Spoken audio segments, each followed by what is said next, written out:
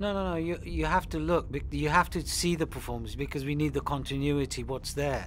I did look at the character at the age of 12 and 14, uh, and it was interesting what was what uh, the actor had created at that time as a young man. When I looked at, there was always a desire from him of wanting to know, and knowing, and answers, and that's what I wanted to carry forward into Poly when he turns into a, a, a, man of 148 years old.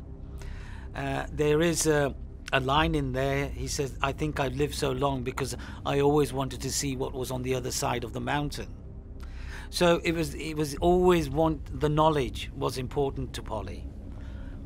And because that knowledge when it was coming into him, it left him in a place where he became was able to be able to question not only his only existence but the existence of the universe itself.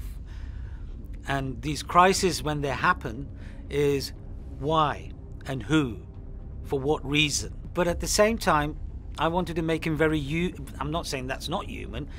I want him to be very grounded, to be part of a society. Whereas uh, in his beliefs of why is their foundation?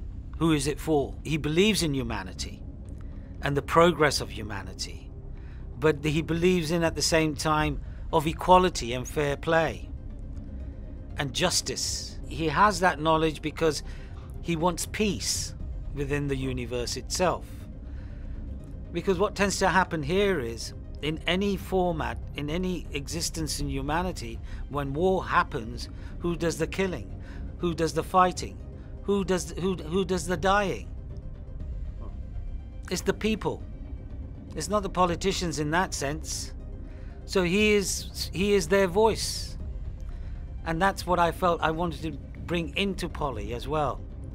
That idea, those questions, uh, amongst these great leaders that is um, uh, uh, uh, upon us. And because the universe, uh, as vast it may be, these political ideas lie in each of these planets, whether it be socialism, whether it be capitalism, whether it be communism, you know.